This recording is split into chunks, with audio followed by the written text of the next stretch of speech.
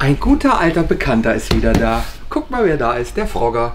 Der Frogger dürfte euch bekannt sein aus dem ein oder anderen Fahrvideo. Ich glaube, das ist eines der beliebtesten Videos tatsächlich, wo ich mit dem Malossi-Motor durch die Gegend baller. Also der Frogger ist da. Warum ist der Frogger wieder da? Weil der Michael den gekauft hat vor einem Jahr, halben Jahr, keine Ahnung.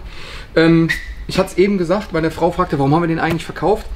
Das Geld, was hier rausgekommen ist, steckt jetzt in das Bowser. Ne? Wie ich das sagte, ich drehe das Geld für die Sachen innerhalb der Projekte, damit ich für euch Content produzieren kann, beziehungsweise äh, auch die eigenen Projekte weiter vorantreiben kann. Ne? Kommt ja keiner in den Hof und schmeißt mir da das Geld ins Haus. Also, Michael, schön, dass du da bist. Freut mich auch. Den Frogger kennen wir. Was ist für ein Motor drin? Motor ist ein 150er Lusvo drauf mhm. mit äh, einem 187er Chrono mit der VMC-Welle. Mhm, 60. Und ähm, 60 äh, mm Hub, 110 mm Pleuel, mhm. ähm, 145, 145 minus 5 Steuerzeiten. Von der Welle? Ja. Kurbelwelle? Okay. Das ist lang. Das ist viel Steuerzeit. Ja. Okay, wir gucken weiter. Mhm. Auspuff ist die Big Box 2? Genau, richtig. Das ist ein interessanter Auspuff. Ähm, ich bin mal gespannt. Ich habe diese Kombi noch nicht auf dem Prüfstand gehabt. Ähm, als Drehschieber bin ich tatsächlich gespannt, was der zu leisten Stand ist. Vergasermäßig äh, hast du erstmal Standard reingemacht, ne? Genau, SE24. Ähm, da ist ein modifizierter Polini-Trichter drauf äh. wo die Düsen nicht im Strom sitzen. Okay. Tasche aufgefräst. Okay. Und also du hast vergasermäßig schon mal ein bisschen was gemacht? Ja, genau, richtig. Okay. Dann äh, gucken wir mal, ähm, was das jetzt so als Eingangsmessung, mhm. was, wir, was wir darstellen. Ey, du hast ja wirklich sogar den. Guck mal. Guck mal, du hast ja echt den Frogger sogar dran gelassen. Ja, ja, klar. Sicher? Ist doch der Frogger. Ja, cool. So, meine Frau wird mich hassen nachher. Ich bin ganz sicher. Pamela? Gut, also ich bin gespannt. Wir schauen mal. Ähm, was hast du hier für Markierungen drauf gemacht? Ähm, das sind Gangmarkierungen beim Einfahren. Ähm, das ist jeweils 5000 Umdrehungen. Okay. Kurbelwellenumdrehungen. Und bis 7,7 willst du einfahren? Äh, war eigentlich mal der Plan, habe ich aber verworfen. In der Regel. Zum Einfahren folgendes gesagt. Äh, die Korb, äh, die, ähm, das Einzige, was beim Einfahren im Zylinder wirklich relevant ist, sind die mhm. Kolbenringe. Weil die Kolbenringe sind die einzigen Bauteile, die zwischen Kolben und Zylinderkontakt mhm. haben. So, was passiert beim Einfahren? Die Kolbenringe schleifen sich mhm. auf die Zylinderlaufbahn ein. Die Zylinderlaufbahn wird geglättet, die Kolbenringe werden eingearbeitet und das Ganze sollte man in der Regel so 350 bis 500 mhm. Kilometer sollte reichen. Mhm. Was ich mache ist, wenn ich die Motoren baue und will ja natürlich auch dann losfahren, dann mhm. stimme ich die halt auf den Prüfstand ab und die kommen von der Werkbank direkt auf den Prüfstand, kriegen in die Fresse. Also von der Seite her äh, einfahren, aktuelle Zylinder mit den neuen Nikasil-Beschichtungen 350 bis 500 Kilometer reicht. Mhm. Dann sind die Kolbenringe auf die Laufbahn eingeschliffen. Anders verhält es sich, wenn ihr ähm, neue Getriebekomponenten äh, verbaut habt oder eine neue Kupplung, ein neues äh, Primärrad etc. Dann habt ihr sehr viel Abrieb im Öl und dann solltet ihr auch alle 300 Kilometer die ähm, Ölwechselintervalle machen. In den ersten 1000 Kilometern quasi dreimal das Öl wechseln, damit der ganze Rotz da rauskommt und nach 1000 Kilometern könnt ihr dann auf ein 1000er Intervall umsteigen. Das sind ja nur 300 Milliliter Öl. Das kostet halt auch nicht so viel. Ich wechsle tatsächlich immer so alle 1000, 1500 Kilometer das Öl. Hauptsache die Karre hat frisches Öl. Ne? So, gut, dann äh, gucken wir mal, was bei rauskommt. Ich bin gespannt.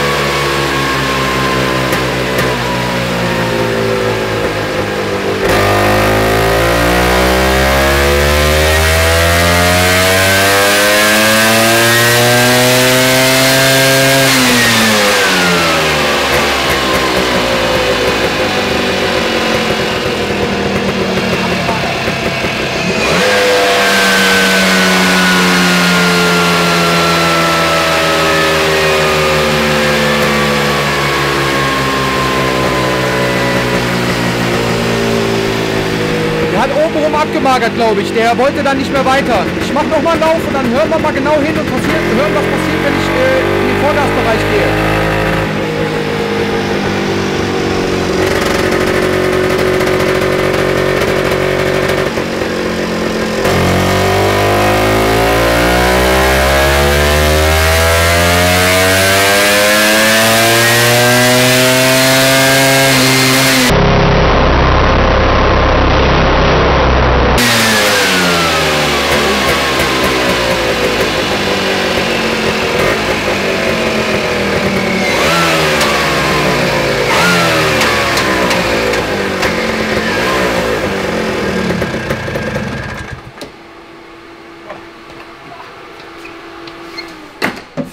totaler Fuel Cut. Hast du das gemerkt? Boom, wie der zusammengebrochen ist. Hier ist, äh, hier läuft nicht genug Sprit nach. Der zieht sich Sprit oder will Sprit mhm. haben. Hier passiert irgendwas im Vergaser. Das heißt, wir nehmen das jetzt alles auseinander, den Vergaser, und gucken uns das genau an. Hier, der will nicht. Der macht bei 90 und du siehst das auch. Guck mal hier. Du siehst regelrecht, als ob einer äh, das Zündsignal wegnimmt oder ähm, die, die, Spritzufuhr cut. Das ist wirklich wie so ein harter Drehzahlbegrenzer. Ähm, boom, schoss der ab. Das mhm. ist, als wenn Zündschlüssel umdrehen, ausmachen. Ne? Und das siehst du wunderbar in der Kurve. Normalerweise müsste die Kurve hier runtergehen. Mhm. Ne? So, also da ist auf jeden Fall was im Busch. Da gucken wir uns das Ganze mal an. So, was mir auch auffällt ist, hier unten, das ist nicht harmonisch.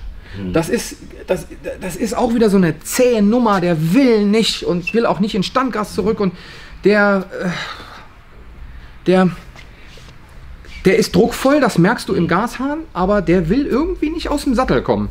Ähm, wir bauen das jetzt mal auseinander und gucken uns das mal an und dann gucken wir mal, ähm, ob es was mit der Vergaser-Thematik zu tun hat, mit dem Spritzelauf zu tun hat.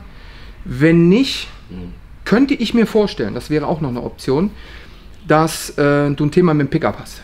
Das heißt, bei steigender Drehzahl, mhm. ja, dass wir irgendwo ein Thema haben, mhm. vielleicht das Lüfterrad nicht nah genug am Pickup sitzt und wenn bei steigender Drehzahl, dann kommen ja noch Fliehkräfte dazu, dann baut sich das Ganze ja auf, dass er dann vielleicht mhm. kurz den Kontakt verliert, weil das kann entweder Fuel Cut sein mhm. oder hart Zündung verloren. Ne? Mhm. Also wenn wir mit dem Vergaser jetzt nichts erreichen, muss das auf, ähm, auf der Agenda haben, dass es vielleicht ein Thema mit der Zündung sein kann. Ne? Aber wir bauen jetzt aus und dann gucken wir mal. So, ähm, etwas größere Operation an dem Vergaser, weil der Vergaser ist wirklich noch ein Relikt aus ganz alter Zeit. Das heißt, der hat so grundsätzlich was gegen Tuning gehabt, den mussten wir mal richtig auf die Pelle rücken. Das Vergaser ist jetzt umgearbeitet, neue Düsen sind drin und jetzt mal gucken, was passiert. Ob wir immer noch den Fuel Cut haben, weil dann müssen wir den Deckel komplett tauschen. Das habe ich dir gesagt.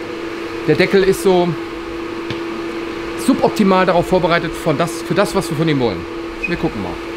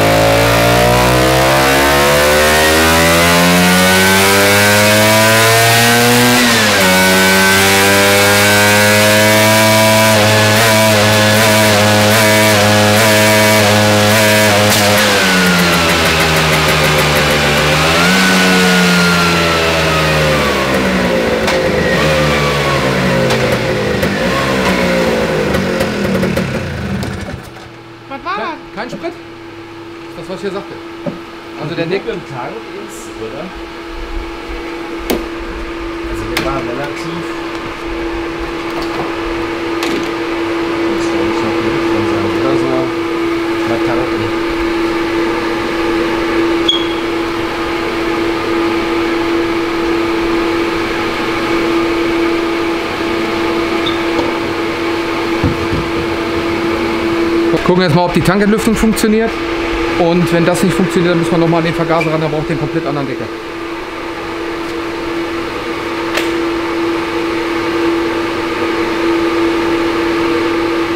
Soll ich ausmachen? Ja.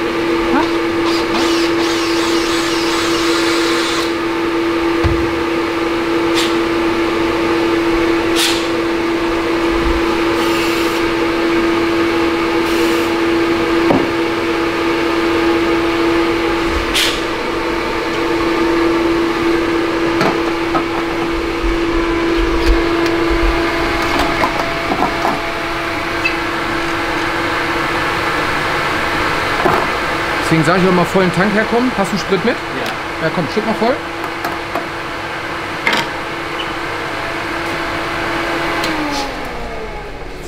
Also, um euch das mal ein bisschen näher zu bringen. Was wir hier haben, ist augenscheinlich ein totaler Fuel Cut. Das heißt, der Sprit läuft nicht in der entsprechender Geschwindigkeit nach. Ähm, Spritschlauch ist kurz genug, Fastflow ist drin. Den Fastflow hatte ich noch eingebaut und den Spritschlauch auch. Das heißt, da können wir von ausgehen, dass das funktioniert.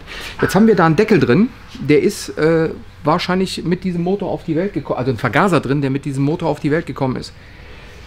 Wo ich davon ausgehe, dass die Geometrie dieses Vergaserdeckels einfach auch nach, nach, nach einer Modifikation nicht ausreicht. Ähm, ähm, ich habe ihm das eben gezeigt. Wir haben ein Problem mit der Nadelposition, ähm, was wir augenscheinlich insofern nicht beheben können, weil Schwimmergeometrie, ähm, Druck, also nicht Druck, aber Guss des Deckels so ist, dass die Nadel nicht entsprechend tief genug absinkt und wir ähm, eine Mangelversorgung haben einfach.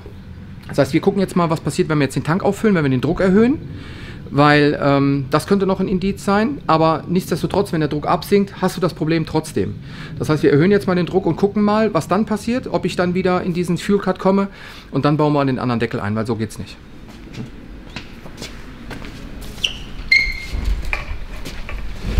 Schütt mal voll den einmal.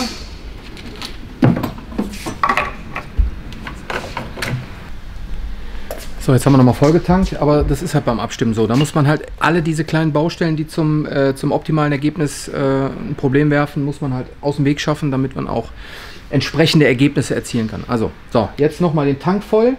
Und jetzt gucken wir mal, ob der Druck im Tank, der, also dieser erhöhte Druck im Tank dafür ausreicht, ähm, mehr Sprit in die Kammer zu drücken. Ne? Wir haben ja Fallstromprinzip. So, und dann gucken wir mal, ähm, ob das hilft und dann bauen wir den Deckel um.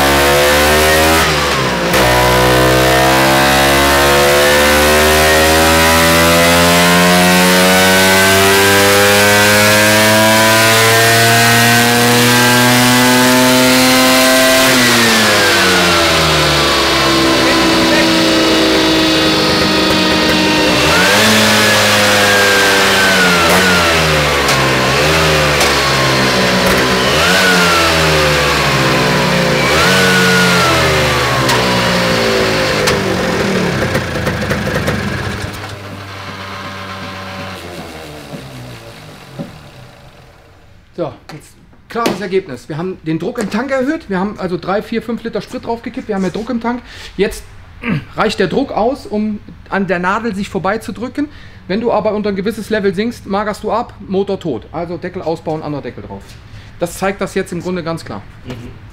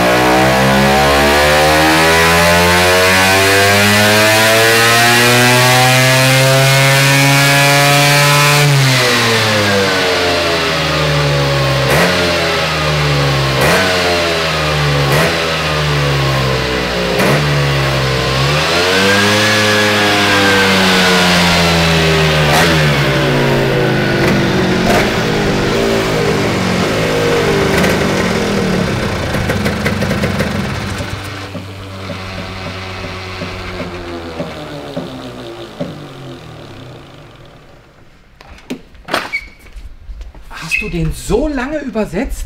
Der ist ja brutal lang übersetzt. Ich habe eben im vierten Gang das Gefühl gehabt, äh, äh, was ist denn da für eine Übersetzung? Muss doch, ist da eine gradverzahnte Übersetzung drin? Ja, okay. Weil das macht nämlich Sinn. Weil ähm, dieses, äh, komm mal, nee, komm ruhig näher, genau. Ähm, ich dachte so, warum zieht der bis 120, 140, 150? Der hört ja gar nicht mehr auf. Also, ähm, was wir jetzt haben, ist das, mhm. das Sprit, dieses Fuel-Cut-Problem haben wir komplett mhm. eliminiert. Ja. Anderen Deckel gebaut, andere mhm. ähm, Nadelgeometrie, mhm. ne? hast ja genau gesehen, ich habe ihm das mal genau erklärt, wie das aussieht. Ähm, das hat einfach damit was zu tun, dass wir jetzt sicherstellen können, dass mhm. der Spritzulauf auch in der Menge stattfindet, wie wir ihn brauchen. Ja. Düsungstechnisch sind wir safe. Mhm. Da haben wir jetzt ähm, die Bedüsung so gewählt, dass wir, wenn die Linien immer wieder übereinander laufen. Ne? Das heißt, ja. wenn sich die Kurve über Kurve über Kurve legt, dann Kümmer. Ja. Ist nix. So. Das heißt, du hast ähm, bist in dem Bereich, wo du eine optimale Verbrennung hast, mhm. wo der Zündwinkel passt. Ich würde den jetzt tatsächlich so fahren. Mhm. Ähm, aber warum hast du die Übersetzung so lange gewählt? Vertan. Im Ernst? Ich war echt der Meinung, der Kono drückt mehr als das Delfio. Ähm, was haben wir denn? Eins, komm mal, wir gehen mal, komm, wir gehen mal die Kurve angucken. Pass auf, das ist nämlich. Äh, ich bin nämlich ins Gas gegangen bei 2000, also die Messung beginnt bei 2800 ja. Umdrehungen. Und dann ging das so schleppend hoch und hat auch so ein ganz kleines bisschen mhm. Weller Form. Da merkst du, dass der Zylinder, der performt sich dann hoch. Mhm. Aber das nahm kein Ende. So, jetzt gehen wir mal. Das ist jetzt dritte Gang, ne? Ich bin bei 120 im dritten Gang aus dem Gas. Dein Peak im dritten Gang liegt bei 100, 105 der Peak, der Leistungspeak. Das heißt, wenn du mit dem fährst, kannst du bei 100 im dritten Gang fahren und hast deine volle Leistung. So, das ist eigentlich absurd. Wir gehen jetzt mal eben, komm mal her, ich zeig dir das mal. Äh, was hast du für eine Übersetzung drin? Ähm, eine 2462. Ja, das, boah, das fast länger geht's ja gar nicht. Meine Güte, ja, pass auf, wir gucken uns das mal an. Warte mal, warte mal, warte mal. So, letzte. Ähm, So, einmal. Der Witz ist, ähm, weil du nämlich so eine lange Übersetzung hast, tut er sich im vierten Gang mit der Leistung auch so schwer. Mhm. Weil, ähm, so, das ist dritte zu vier. Pass auf, nee, pass auf. Das ist ähm, gekommen, also womit du gekommen bist, Ja. war 19,4 und du gehst mit 20,8. Und du siehst, wir haben aufgrund dieses des mangelhaften Spritproblem, also die mangelhafte Spritversorgung und der entsprechenden Bedüsung und so weiter, haben wir jetzt hinten raus mehr Leistung aufgelegt. Ne? Also wir reden hier Ja. klar von der Überschneidung von Nebendüse zur Hauptdüse. Ne? Ja. Ähm, weißt du noch, was du für eine Hauptdüse drin hattest? Ich hatte eine 135er drin. Ja. So, und wir sind jetzt bei einer äh, 100, 62. 162. Ne? So. Ähm, aber viel interessanter ist folgendes.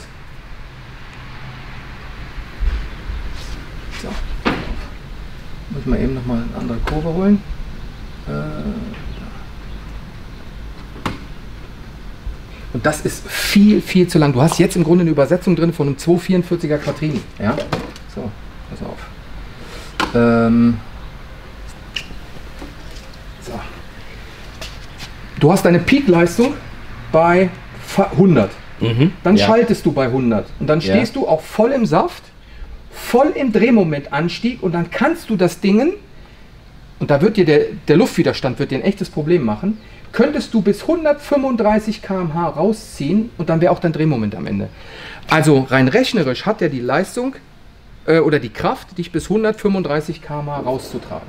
So, da hat er auch 90 PS. Es wäre jetzt, du machst jetzt mal bitte folgendes. Du setzt dich jetzt mal drauf und fährst damit. Ja. Weil jetzt machen wir auch noch den hohen Deckel drauf. Jetzt hat er genug Luft. Mich würde wirklich interessieren, bis wo du den hinkriegst. Können wir machen. Das ist absurd. Also, du hast eine 63 drin. Hol dir. Nee, du musst Das ist, ich habe schon zu Hause eine 23er. Die 23 62 würde genau dem Getriebe entsprechen, das auch in, dem, in der Super drin ist, mit dem kurzen vierten. Also da ist auch ein kurzer Vierter drin.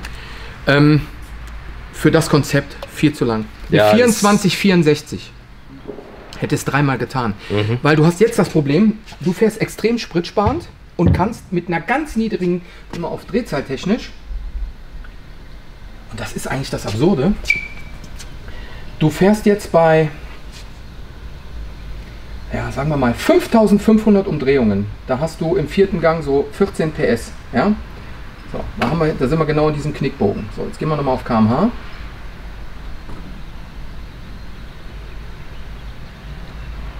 Kannst den mit 5000 Umdrehungen bei 100 rollen lassen.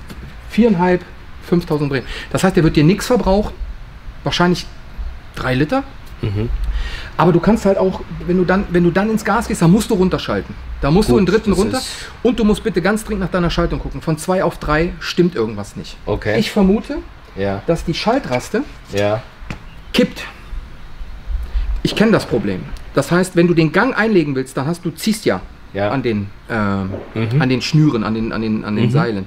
Wenn der Teller, also wenn diese Achse, die da Ja. drin ist, wo der Teller oben drauf ist, wenn dieser Teller kippt, Mhm. wenn die Führung ausgeschlagen ist, Mhm. dann kriegst du die Gänge nicht rein. Du Okay. denkst, ja, wieso ist doch alles gut, ist doch leichtgängig, Ja. baust die Raster aus, tut's alles. Mhm. Aber durch diesen durch diesen Seilzug kippt dieser Teller und dann verkantet sich diese Welle, die da drin ist, wo der Ja. Schaltarm dran ist, und dann kommst du nicht weiter. Und ich glaube, Okay. das ist dein Problem. Hab da mal ein Augenmerk drauf, Schalt, teil, ähm, äh, tausch die Schaltraster aus und dann Mhm. wird das Thema weg Okay, sein.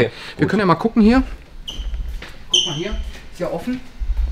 Ich glaube, dass dieser Teller, komm mal näher, Schatz. Wenn ich jetzt den Gang einlege, dann kippt dieser Teller.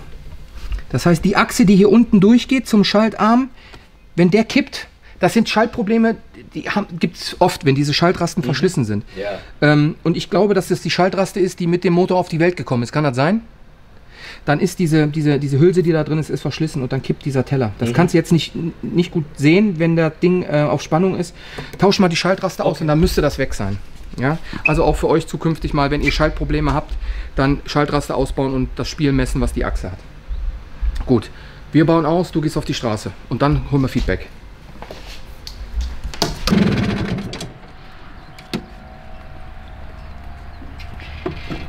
Bin ich echt extrem ge- gespannt, wie sich dieses lange Getriebe auf der Straße macht. Wirklich.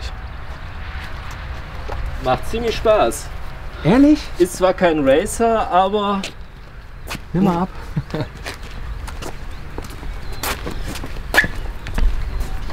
Also als du hier weggefahren bist, habe ich nur gedacht so, jetzt müsst ihr langsam schalten und dann äh, hast du richtig durchgezogen. Alter, wie schnell bist du gefahren? Also laut Tacho, komm mal näher. Also irgendwo so 110. Mehr hast du nicht gemacht? Nö. Also ich bin, es ging nicht wegen den Autos. Also der wäre hier auf der Gegenrichtung, wäre der deutlich schneller gelaufen. Also hat's noch im. Ja. Wenn du, hast du denn das Gefühl, wenn du jetzt weiter aufreißt, dass er weiter fährt oder dass er äh, so ein bisschen rumdümpelt? Ja, also da ist nicht mehr viel. Also Der Wind, die, die 23er primär jetzt da drauf wäre der bessere Anschluss, so wie das auch auf dem Stelvio drauf ist. Ja. Ähm, aber erste, zweite, dritte macht er natürlich richtig Laune, ne? Das ist. Hast du den äh, dritten bis 100 mal gepeitscht? Ja. Das ist krank. Ja. Okay. Ja, vielen Dank. Aber ähm, äh, im vierten Gang kannst du ihn halt rollen lassen, ne? Das, das ist halt. Ich wollte ein unterschiedliches Konzept haben. Es macht keinen Sinn, zwei gleiche Motoren zu bauen, ja, in unterschiedlichen Rahmen. Deswegen Richtig. war der Versuch mit dem Chrono und äh, dem anderen Aufsatz und dem langen Getriebe mal was anderes zu tun, um auch mal spazieren zu fahren. Ja, das kannst du, also spazieren fahren kannst du damit. Ja. Das ist wirklich, der holt, äh, holt ja kein. Oh Gott, wir haben wahrscheinlich Windgeräusche auf dem Mikro. Lass mal reingehen. Komm. Carsten, was ist los? Warum? Was ist? Da bin ich nicht bei, da bin ich nicht bei. Ähm, hier, komm ein Stück rein wegen dem Wind. Ähm, ja, damit ziehst du halt kein, kein Beschleunigungsrennen, äh, ziehst du, da ziehst du nichts vom Teller. Aber du kannst halt bequem mit 100 im vierten Gang mit 4.500, 5.000 Umdrehungen dahin rollen und dann verbraucht das Ding auch nichts. Ähm, wie war es Fahrverhalten, wenn du niedertourig beschleunigt hast? Lief der sauber nach oben durch? Ja, Okay. hat er gemacht. Gut. Also kein Rotzen, kein Spotzen, Ja. kein.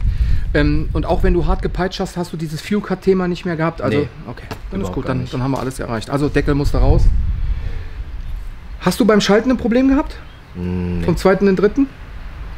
Das, deswegen hat mich das gewundert, dass du so Probleme auf dem Prüfstand hattest, weil wenn der Roller auf der Straße läuft, macht er die Probleme nicht.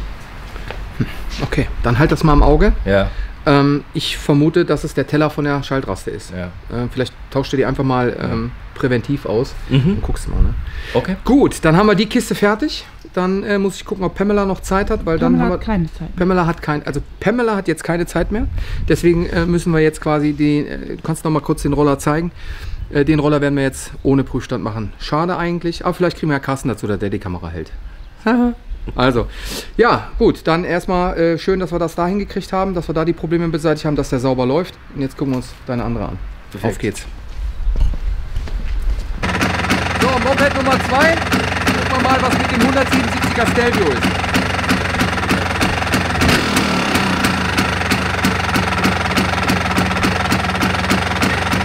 Hast du das?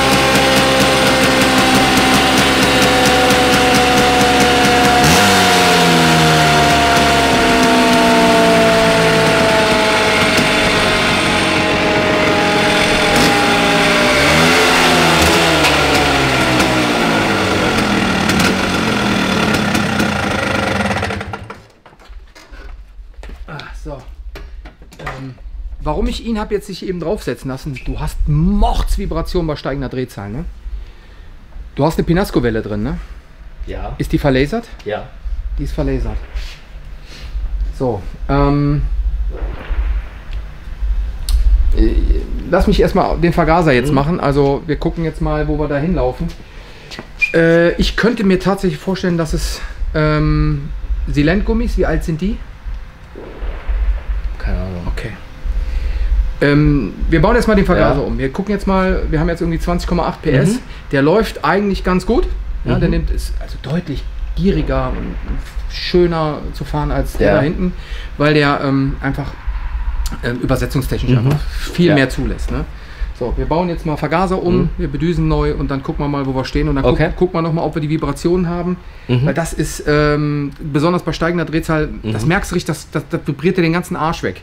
Mhm. Ähm, ich guck mal, ob es aus dem Motor kommt gleich Okay. oder ähm, ob es aus dem Hinterrad, Felge, Mhm. Trommel irgendwo daher kommt. Ne? Gut. Also bauen wir um. So. Also. Also Vergaser umgebaut. Ähm, ähnliches Thema wie bei dem bei deinem alten. Du hast halt so uralte Vergaser. Die haben halt äh, Fertigungstoleranz, die sind jenseits von Gut und Böse. Und was halt auch auffällt, ist, dass die Nadel, der Nadelsitz und die Führung halt einfach auch nicht gut sind. Und äh, wir haben jetzt alles getan, damit wir einen guten Spritzulauf haben. Und entsprechend bedüst, Venturi ist drauf. Und jetzt gucken wir mal, wo wir stehen. So.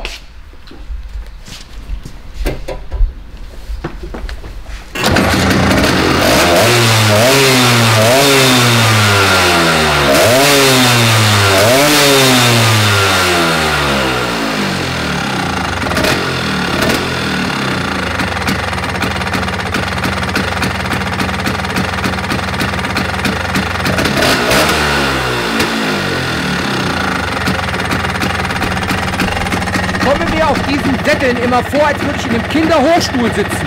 Weißt du? Ich komme einfach nicht. Guck mal, ich will kurze Lauffahrt. Ich komm einfach. Scheiße.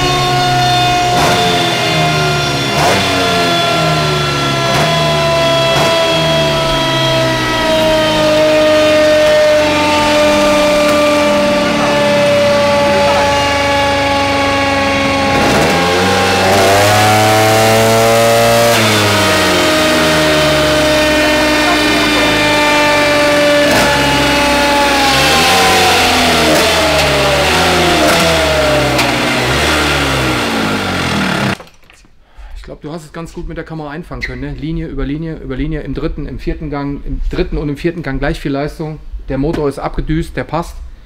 Deckel drauf, fahren. Okay. Ne? Also ihr habt es ja auch gesehen. Äh, was mir noch zu den Vibrationen, deswegen hatte ich ihm auch Bescheid gesagt, der soll mal herkommen und fühlen. Die Vibrationen kommen definitiv nicht aus dem Motor, weil die Vibrationen bleiben in unverminderter Härte bestehen, wenn der Motor runtertourt. So, das heißt, das liegt irgendwo. Hauptwelle, Trommel, Felge, Reifen, irgendwo in diesem Sektor, weil das ist das Einzige, was dann frei dreht. Ne? Wenn ich die Kupplung ziehe, dreht die Hauptwelle leer. So, und das ist, ähm, ich vermute, dass du entweder einen massiven äh, Schlag in der Felge hast oder die Trommel sogar sich verzogen hat. Ne? Also da ansetzen, mhm. das wird unangenehm, je schneller du wirst. Ähm, du merkst das auch, ne? wenn du den dritten beschleunigst, dann reicht die Drehzahl äh, oder die Geschwindigkeit noch nicht aus, damit die Vibration richtig mhm. schön in den Arsch zieht. Wenn ich aber im vierten, ich habe den bis, im vierten bis 140 gezogen, mhm. äh, dann ist die Vibration so stark, dass du wirklich merkst und dann ziehst du die Kupplung und dann bleibt die mhm. Vibration. Also da musst du gucken. Ne? Okay. So, jetzt auf die Straße. So, komm einen Schritt näher, damit du das auch siehst. So, wir haben nicht Pamela jetzt, wir haben Pamela innen. so, ähm, also für euch mal die Kurve. Ja, wir haben über das gesamte Band ordentlich Leistung rausgeholt. Wir haben insgesamt 2 PS draufgelegt und wir haben insgesamt ähm, ja, im Schnitt fast, fast 2 Newtonmeter draufgepackt. Ne? Wir haben hier 23,6 und 22,4, also 1,6 Newtonmeter. Also der müsste im gesamten Band deutlich mehr Leistung haben, äh, deutlich mehr Drehmoment haben und auch deutlich mehr Leistung. Du siehst, wir sind jetzt bei da, wo er schon vorher zusammengebrochen ist, da haben wir jetzt noch hinten raus deutlich mehr Leistung. Also wir haben jetzt zum Beispiel bei 7.500 und äh, sagen wir mal 7,2 haben wir 22,3 und 19,7. Ne? Also mhm. da hinten raus hast du 2,5 PS mehr. Das müsstest du jetzt auf der Straße deutlich merken. Also Helm an, Jacke an und fahren. Okay. Bis gleich.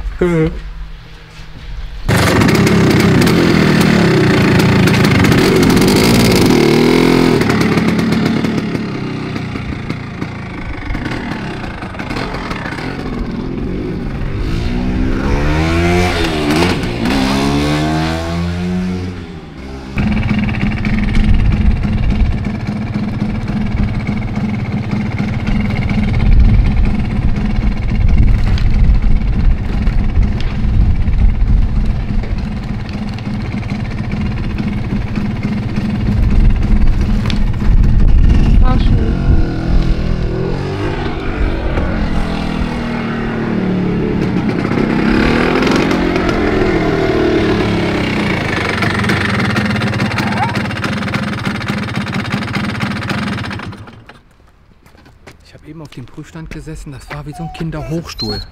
Ja, ist ja gut. Komm Äh, wie so ein Kinderhochstuhl. Ich komme mit den Füßen nicht an den Boden. Also das ist nichts für mich mit den Bänken. Komm, wir gehen mal. So, mein Lieber. Sieht oben deutlich besser raus. Ja, komm näher.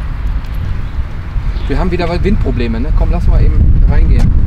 Wegen dem Wind. Das, das Mikro, ich habe den Puschel nicht drauf. So, also das hörte sich auch schon mal ein bisschen potenter an, wo die weggefahren ist. Erzähl, wie fühlt es sich an? Ähm, ist natürlich von der Übersetzung her was hm. total anderes wie der Chrono. Klar. Ähm, drückt deutlich agiler raus, ja. also ist spritziger. Wie gesagt, durch die Übersetzung, das war, wusste ich ja schon im Vorfeld. Macht ja mehr Spaß. Aber auch so, man merkt es mehr an Leistung. Also das ja. merkt man definitiv, ja. Sehr, Sehr schön. Äh, wie schnell bist du gefahren? Hast du mal, hast du mal ausgedreht? Nee, es geht nicht. Ich habe halt immer, immer Autos, ne? Autos dazwischen. Wie, aber hast du, mal, hast du mal gut durchgepeitscht, ja. die Gänge? Auch mhm. kein Spritproblem, nichts, kein Rucken, kein Zucken, kein nichts? Okay. Absolut problemlos. Okay, gut. Kevin, dann, vielen Dank. Ja, gern, gern geschehen. So, dann äh, sind wir auch durch mit dem Video. Ich weiß nicht, ob das jetzt ein, zwei, sechs, vier, acht Teile sind, keine Ahnung. Ähm, wie immer, wenn es euch gefallen hat, Daumen nach oben, Abo, wohlwollende Kommentar. Der Hund fand's scheiße, der jault die ganze Zeit. ja, ist gut. Ähm, ja, dann bleibt hässlich. Wenn er rausgeht, fällt nicht in den Schnee und wir sehen uns beim nächsten Mal. Bis dann. Tschüss.